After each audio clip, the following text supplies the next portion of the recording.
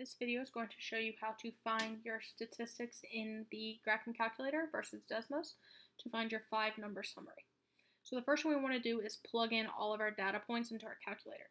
To do that, we're going to go to our stat key. This is for our statistics where we plug all of our values in. So we press stat, we're going to edit. So we have multiple things. So this is editing our list, this is calculating information, and this is for testing statistics, like hypothesis testing. So we're going to edit our first list. We have one list of numbers, so we're going to put it into our L1. So we're going to type in 48, enter, 56, enter, 64, enter, 64, enter, 68, 70, 72, 72, 80, and 92. So we have 1, 2, 3, 4, 5, 6, 7, 8, 9, 10 data points.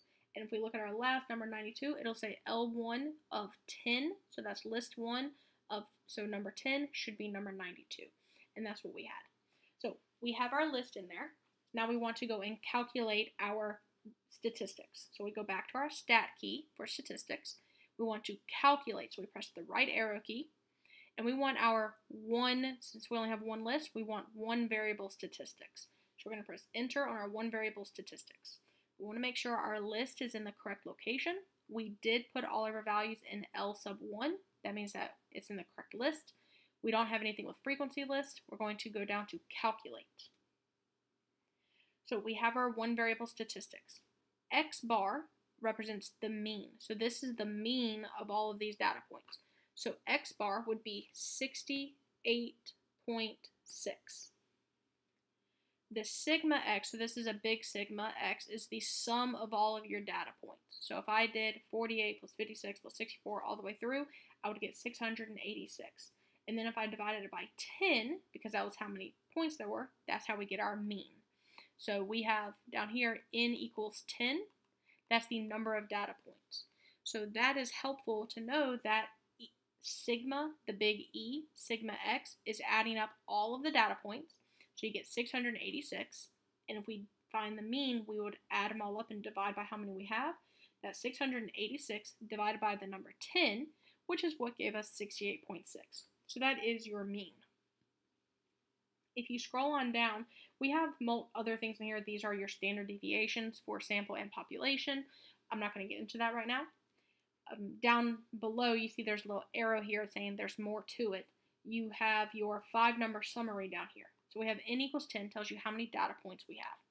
Our five number summary is your minimum, your Q1, your median, your Q3, and your maximum.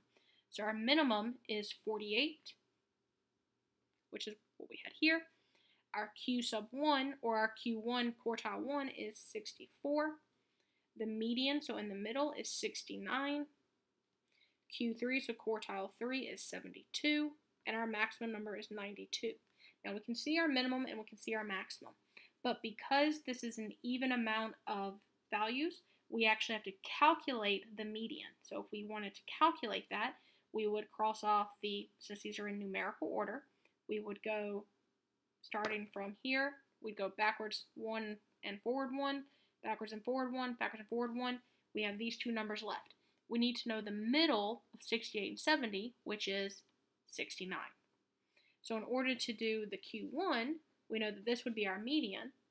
Q1 is the middle of your lower bound or your lower um, half. So we have 68 and 48, then we have 64 and 56, and then 64 is your Q1, which is right here. Your Q3 is the median of your upper half.